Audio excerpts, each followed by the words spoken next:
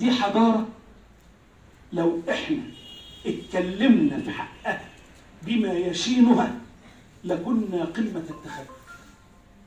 ما ينفعش نتكلم. اطلاقا. اطلاقا. اطلاقا.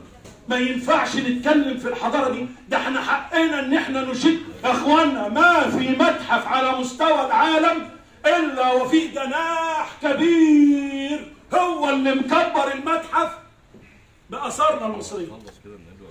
آه. اثارنا المصرية هي النبراس لكل العالم.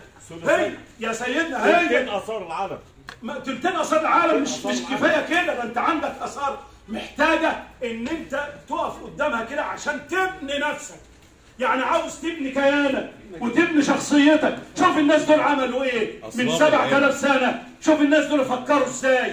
شوف الناس دول تواصلوا لأن الموميا يبقى شعرها لسه موجود إزاي. أسرار العلم. شوفوا يا اخوانا الناس دي عملت إيه. ونطور من نفسنا ونكبر من نفسنا وننمي نفسنا ون- وده كله في إطار الدين. سيدنا عمرو بن العاص لما دخل مصر ما حطمش الأصنام لأن سيدنا عمرو بن العاص صحابي جليل. ودخل معاه. عادل كان ما هدمش الاسوار والمقابر ليه؟ سيدنا عمرو بن العاص. ده كان إيه؟ ده كان داهية العرب.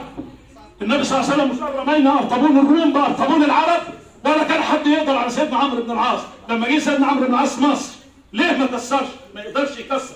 سيدنا عمرو بن العاص كان ليه قيادة بيلجأ إليها. وهو سيدنا عمر بن الخطاب في ذلك الوقت بالتأكيد لجأ إليه من أجل هذا الأمر. ولكن أقروه في العصر الذهبي للإسلام. وفي عصر صدر الإسلام وفي عصر الصحابة وفي عصر الخلفاء الراشدين الذين قال فيهم رسول الله صلى الله عليه وسلم عليكم بسنتي وسنة الخلفاء الراشدين المهديين من بعدي عضوا عليها بالنواجز هكذا جاء الإسلام.